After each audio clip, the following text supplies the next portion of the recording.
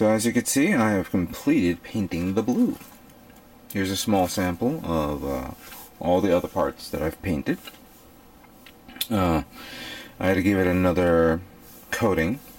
With this paint, the the um, the sky blue paint, I had to give it like at least one and a half coating.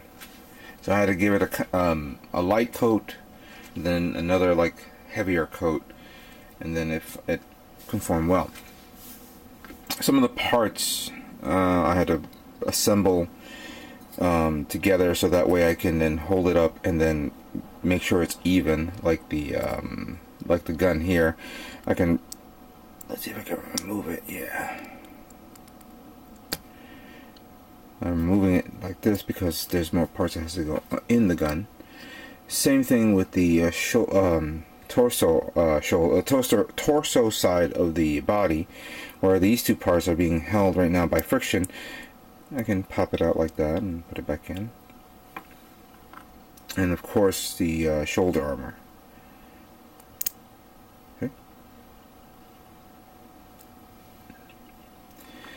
Um, some parts had to be redone because of course you know in the light when you airbrush you don't see that it's not painted right but I finally got it.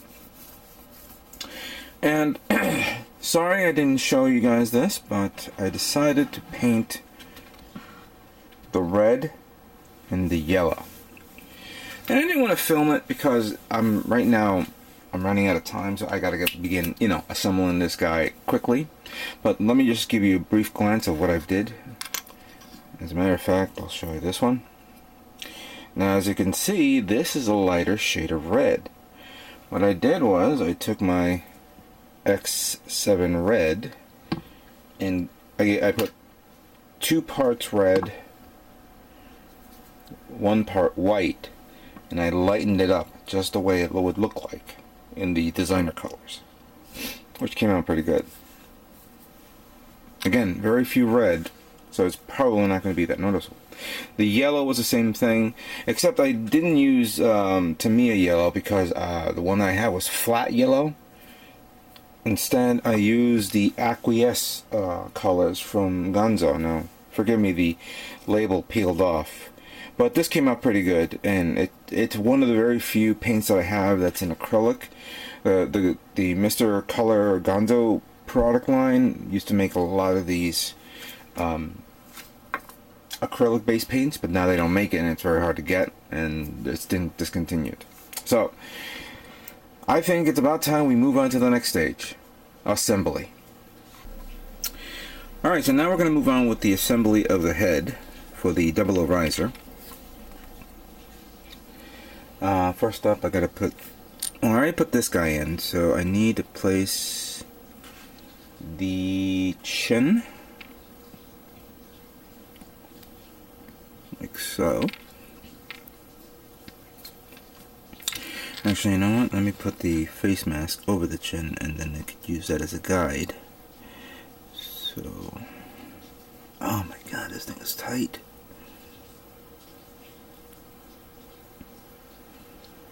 Oh.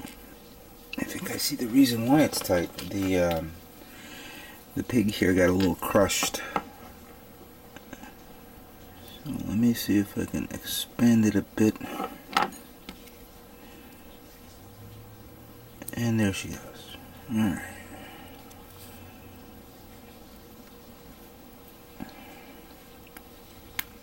Perfect. Now we can put the whole thing in the in the face. There we go. Like that. And then we need to put this guy here. Yeah, you gotta put the face mask first because it has a peg there that you can hold down the eyes. Now, I'm gonna take this out again because I've been I don't want to use the stickers that came with this. I'm actually using the marker to fill in all the dark spots. Give it a little eyeliner, you could say.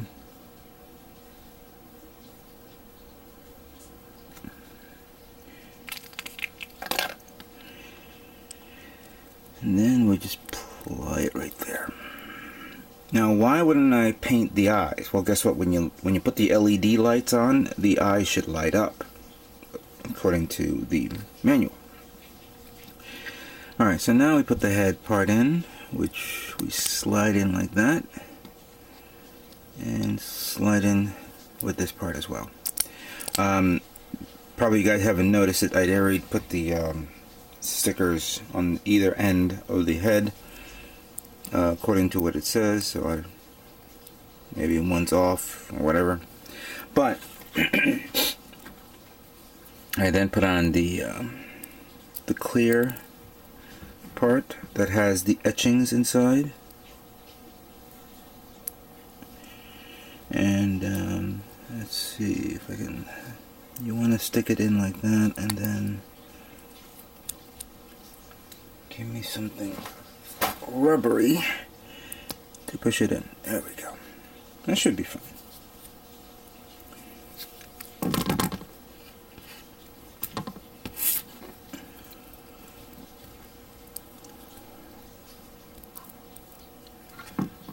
Can we repeat the next one? There we go. Now, according to this, we put the uh, the head or the actual kind of the crust over it. Bit of a friction. I gotta find the orientation of this. I think it's this way. Yeah, it's this way. And so we slide that in there. There we go. Now, the bunny ears which has to look like that in this format.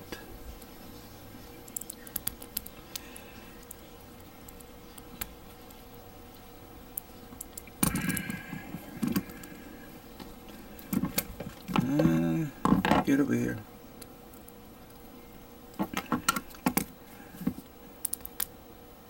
There we go, get in there.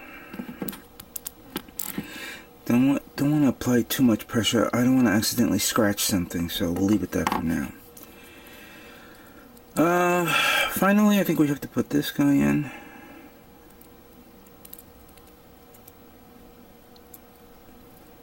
I think. Oh, it's the opposite direction. Wow. So I have to put him. Oh no, I'm sorry, I made a mistake. The yellow goes in first.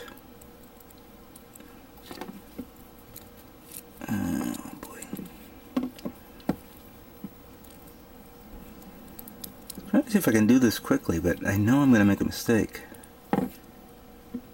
There we go. Now we put him, or this part here.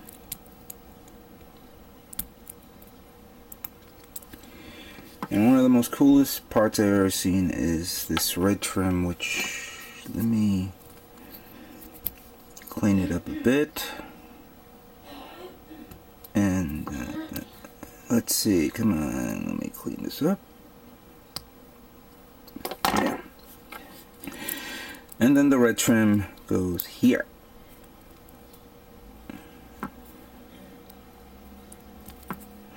They're supposed to be, I guess, if I'm not mistaken,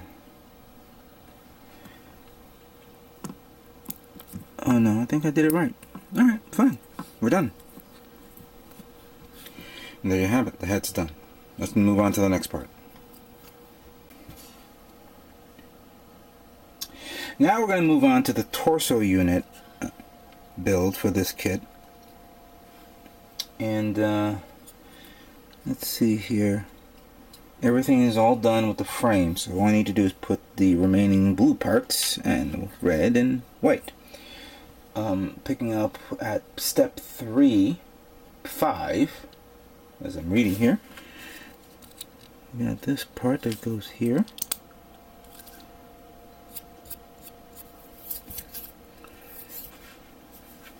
Always remember to wash your hands before you assemble. And then we have this part, which I've already put the frame here. So there we go. That came out good. Nice. Nice and shiny. Not metallic as everybody's of me doing the yellow trim. The yellow trim goes down like so. Good, it at least went down smooth. I don't want no resistance whatsoever.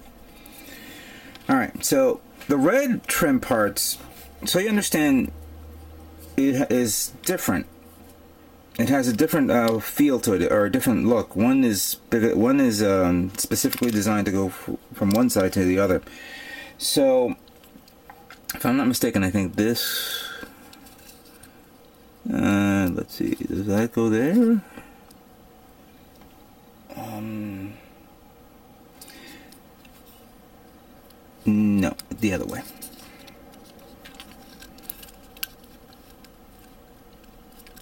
There. Yes, that came out good. And then can't go wrong with this guy. Just finding the hole. Come on. Get it in there. Good. That's good. So that part is done. Now, we have the side armor here, or excuse me, the chest um, I'll say it, the breast armor. And uh, I guess we'll use this guy as an example. And I want to make sure I'm doing this correctly. Is it this one or this one?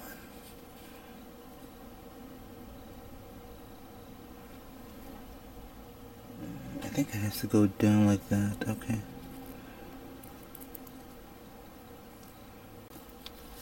Okay, we take this part here and we slide them in.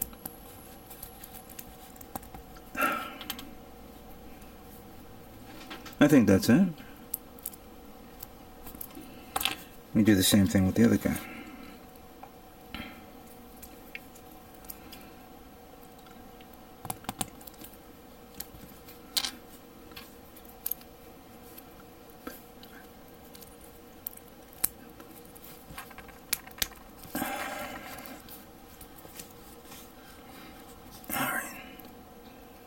I think that's it.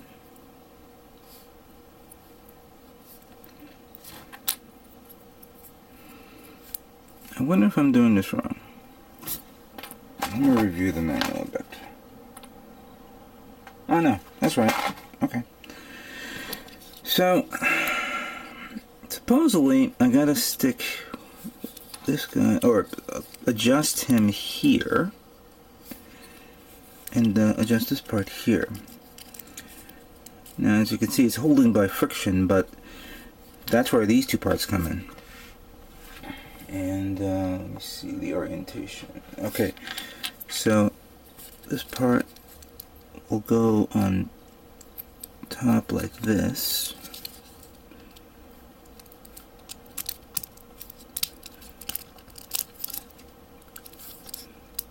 And then we have the other one that goes under.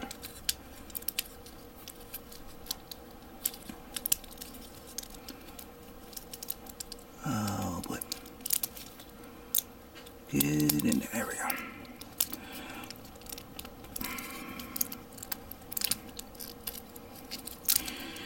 And as always, there's something in there that's saying, no, you don't want to come in. There we go. Good. No nail marks. Let's see if we can repeat that process again. Slide them in at the top.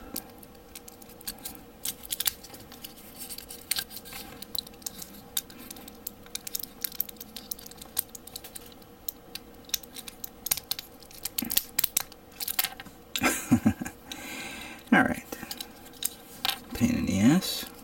We'll do it the other way. How about if we do it this way? Uh, oh, no. if it was that easy, I would have done it. So, we take him. Alright, good. That went down fine. Now we put the next part over, like so. Come on. Come on. Ah, shit. that should be fine. Alright. This part is now done. Done and done. And to show some of the cool features, of course, we stick in the head, like so. And looking at the back, we have the little LED device. That, supposedly, I have to slide them in, but you know what? I have to tighten the screw again, so sorry, I can't do that. But we're almost done. Alright? Now we're going to move on with the arms, and for this I decided to prepare the arm first, especially around here, the um, the green parts and the decals that goes in it. So first thing I'll do is going to remove this guy. And then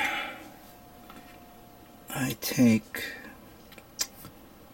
oh wait a minute. You know what? Let me I gotta do this in order. Because I know there's a specific order for this. Um okay, so take this part here. There's apparently two little end pegs there that goes like this, so make sure you know you're not gonna lose the orientation if you do it right.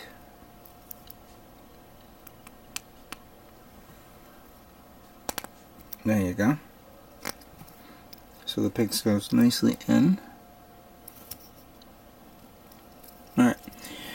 Uh, next, take this part here. And you slide it in to place like so. Then you cover up the armor like this.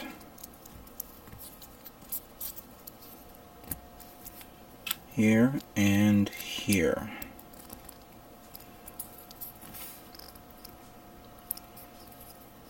and then okay good that's slided in good and then you have the blue part that goes here uh, you, there's no wrong way of putting the blue part just slide it in and you're fine there we go now here's the tricky part you want to make sure that you slide this like that right here get it in there uh, for some other reason, I don't know why, but the white paint is then rubs off on the on the gray. So I'm gonna make sure I try not to move it too much. Oh, come on, get in there. Thank you.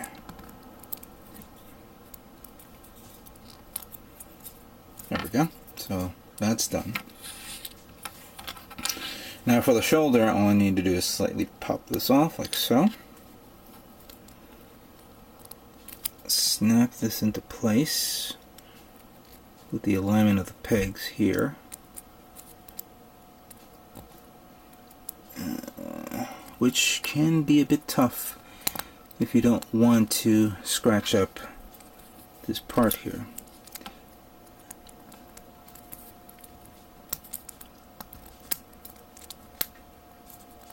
There we go. Good and then this cover right here.